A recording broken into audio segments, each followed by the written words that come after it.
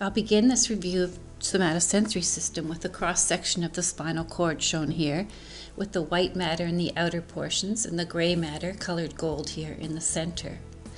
Anterior is at the bottom of the diagram and posterior is at the top.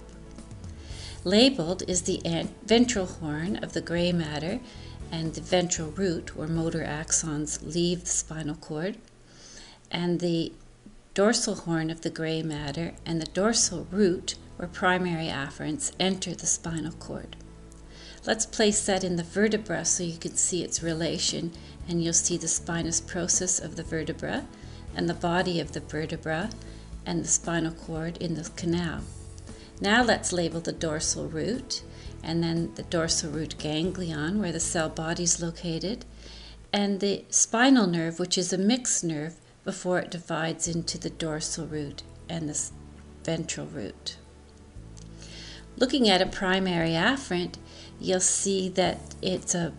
a pseudo-unipolar neuron, meaning from the cell body, the axon splits and heads peripherally to the receptor end, and then and the centrally to the central terminal, and the cell body again is located in the dorsal root ganglion. If we draw this even more diagrammatically, it would be drawn situated like this in the cross section of the spinal cord,